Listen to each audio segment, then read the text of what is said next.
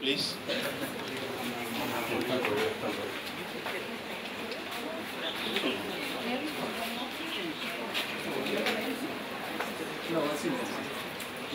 Can we all stand? Uh, for those of us who can stand.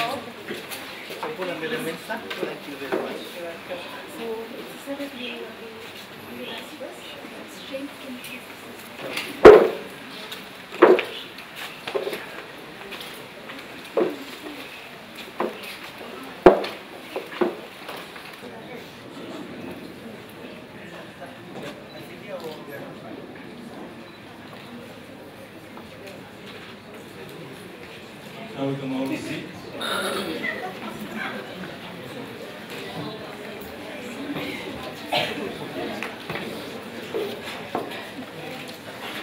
of this conference. We, for the your presence this afternoon completes the team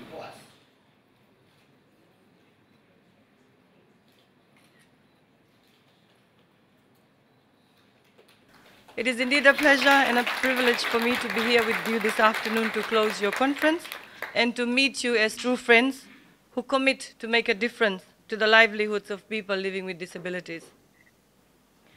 Knowing that this is the fourth Pacific Regional Conference on Disability, I feel that the journey till now must have been challenging with a lot of successes to base best practices for people living with disabilities.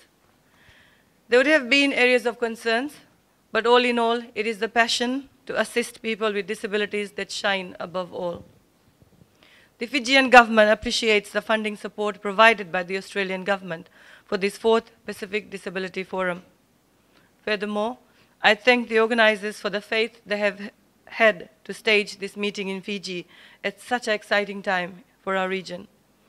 I also thank the contributions of the other stakeholders, without whom we would not have come this far. Your timely assistance has become the face of this year's theme for this conference, Partnership and Action Towards a Disability Inclusive Pacific. The theme expresses the two key elements towards disability inclusion. The many efforts of stakeholders, ground level planning, and true solidarity works wonderfully to bring out success. A lot must have been achieved in this forum in terms of expert presentations, panel discussions, side events, and all.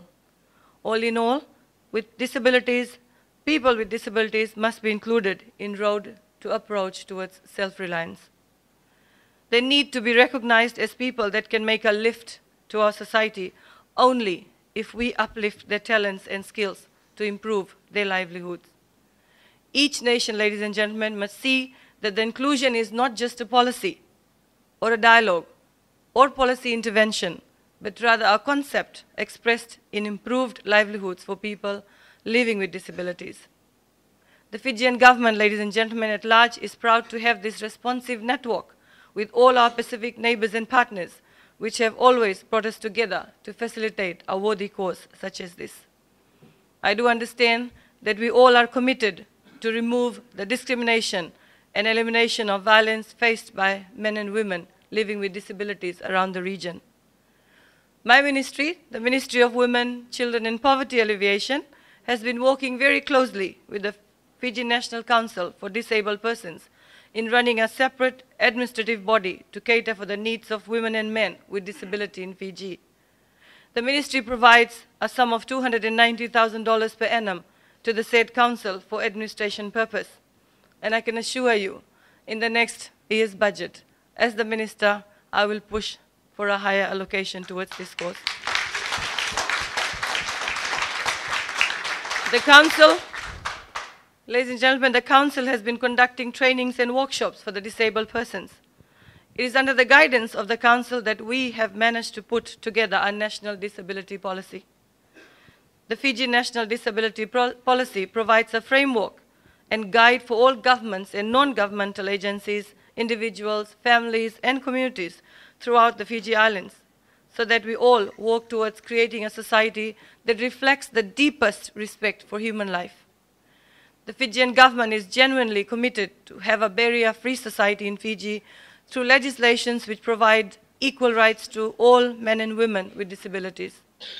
Our commitment is to provide a framework for addressing disability in Fiji and develop a more inclusive society, create greater awareness of the needs of the people with disabilities, and identify priority areas for actions to dismantle barriers hindering the full participation of people with disabilities in the social and economic life in the Fiji Islands.